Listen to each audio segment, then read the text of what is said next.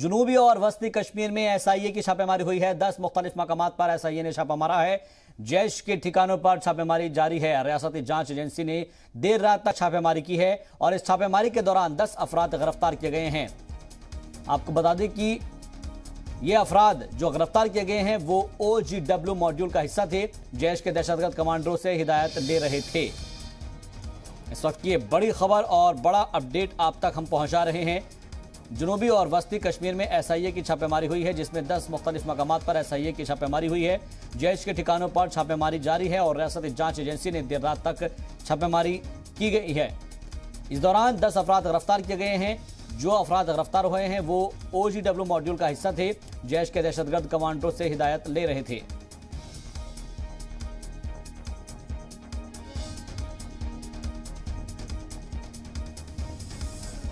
तो बड़ा अपडेट और बड़ी जानकारी मिल रही है कि ये जो गिरफ़्तार किए गए अफराद हैं, वो ओ जी डब्ल्यू मॉड्यूल का हिस्सा थे और जैश के दहशतगर्द कमांडरों से हिदायत ले रहे थे। ये बड़ी चौंकाने वाली बात निकलकर सामने आई है। इस छापेमारी के दौरान जब पूछताछ की गई है तो यह खुलासा हुआ है। जनूबी और वस्ती कश्मीर में एस आई ए ने छापेमार कार्रवाई को अंजाम दिया है और दस मुख्तलिफ़ मकाम पर एस आई ए ने छापेमारी की है। इसमें जैश के ठिकानों पर छापेमारी जारी है और रियासती जाँच एजेंसी ने देर रात तक छापेमारी की है। छापेमारी के दौरान दस अफराद गिरफ़्तार किए गए हैं और जो अफराद गिरफ़्तार किए गए हैं, वो ओ जी डब्ल्यू मॉड्यूल का हिस्सा थे। जैश के दहशतगर्द कमांडरों से हिदायत दे रहे थे।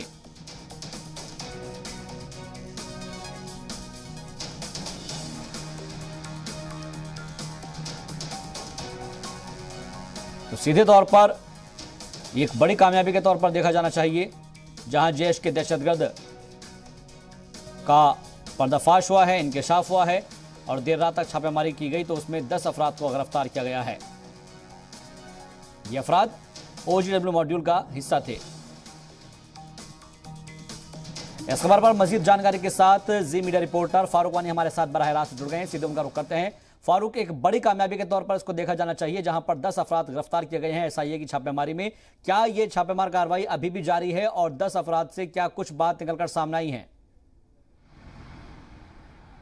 देखिए जो छापामारी है वो आ, रात के दौरान भी हुई है और सुबह भी हुई है जिसमें 10 लोगों को तकरीबन जो है गिरफ़्तार किया गया है। पुलवामा शुपियन और कुलगाम क्षेत्र हैं जहाँ पे छापामारी चल रही थी।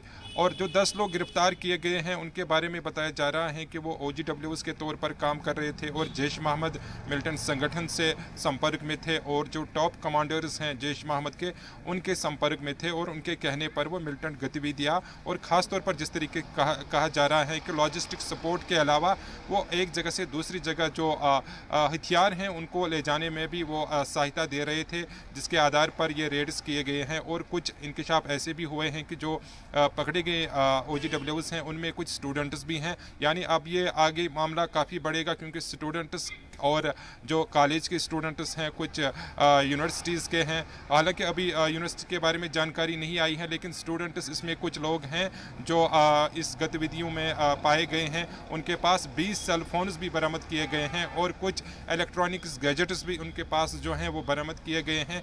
और एनआईए के पास अब उनको श्रीनगर में, जो है, मज़ीद क्वेश्चनिंग के लिए उनको पेश किया जाएगा एनआईए कोर्ट में।